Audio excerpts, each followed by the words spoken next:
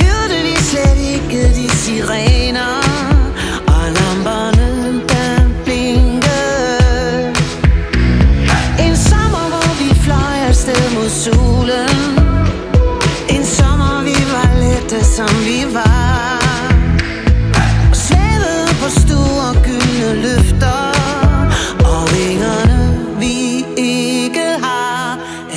Drømme.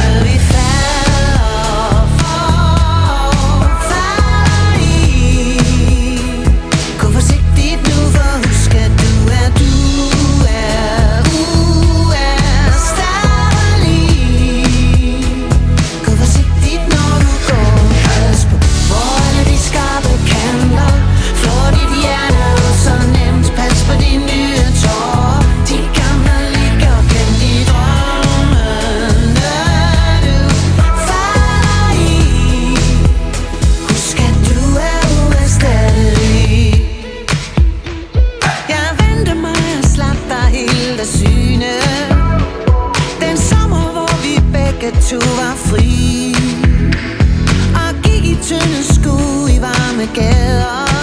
Så sprød, så skrøbelig Men hørte vi kun det, vi ville høre?